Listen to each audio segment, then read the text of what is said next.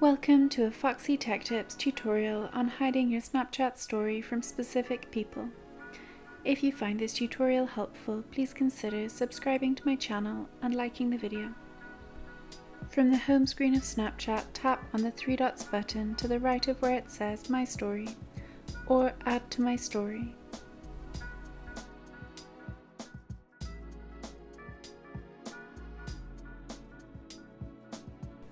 Select Story Settings from the menu that appears. In the Story Settings, tap Custom. Now from the list of friends, just tap on the friend or friends who you want to prevent from seeing your story.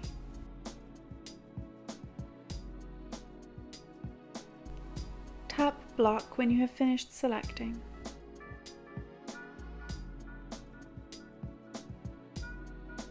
When someone is blocked, they will have a check to the right of their name. You can allow them to see your story again by unchecking the box and then tapping block at the bottom. Another way of doing this is from the Snapchat settings. From the home page of Snapchat, tap on the settings cog in the top right corner. In settings, scroll to the privacy control heading and tap on View My Story.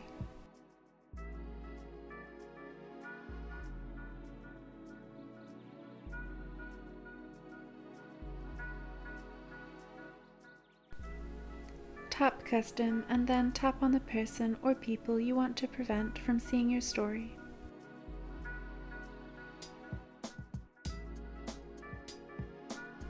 Tap Block at the bottom. To allow them to view your story again, tap on their name. When the check is gone, they can view your story.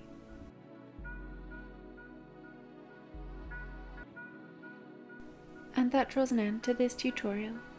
Please like the video if you found it helpful and subscribe to Foxy Tech Tips for more Snapchat tips and tricks.